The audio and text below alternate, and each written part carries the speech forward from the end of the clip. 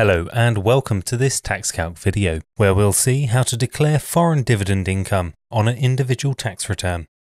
First, let's open an SA100 tax return.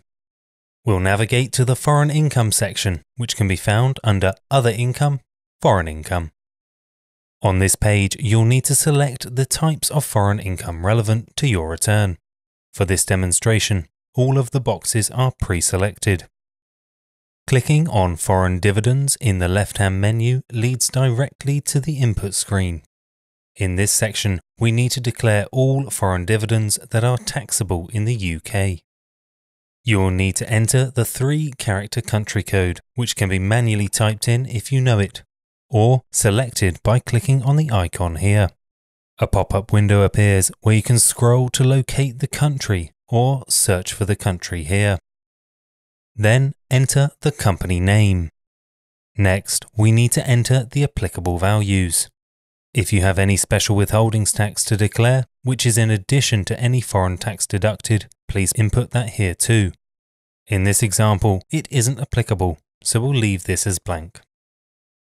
As you can see, the FTCR box, which stands for Foreign Tax Credit Relief, is already ticked and the maximum percentage of FTCR allowed under the double taxation agreement has already been applied at 15%. The DTAs apply generally to types of income, but if you believe there is a specific rate for the income you have entered, these amounts can be overridden. You can add further entries for further countries by clicking on the Add button here. If you had any income that could not be brought into the UK due to exchange controls, then these would need to be declared under unremittable income. These boxes are similar to the ones above, except from the reference to FTCR. In each instance where FTCR is claimed, you'll receive an FTCR worksheet within the Summaries section of TaxCalc. This summary worksheet takes each item of foreign income entered and calculates the amount of UK tax applicable to that item. The UK tax due on the item is then shown in box TC144. TC145 then shows the foreign tax paid. The lower of these two boxes is then input into box TC146 and is included in the total claimable FTCR on the return.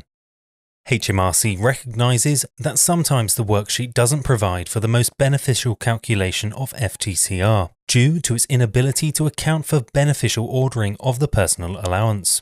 If you believe this is the case in your return, you have the option to override the total allowable FTCR. To do this, you'll need to go back to the data entry section of the return and locate the foreign income section again. On this screen, you will see the overall claim for all entries contained within your return. To override the value, tick the box and amend the value accordingly. That concludes this video for foreign dividend income. Thank you for watching.